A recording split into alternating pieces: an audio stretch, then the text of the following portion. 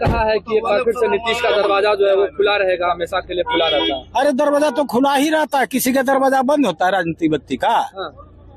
खुला रहेगा जब ज़रूरत पड़ेगा घुस जाएगा। क्या लगता है नीतीश जी क्या फिर से चले? अरे फिर से क्यों भाई अभी तो जिनके साथ चल रहे चलने दीजिए।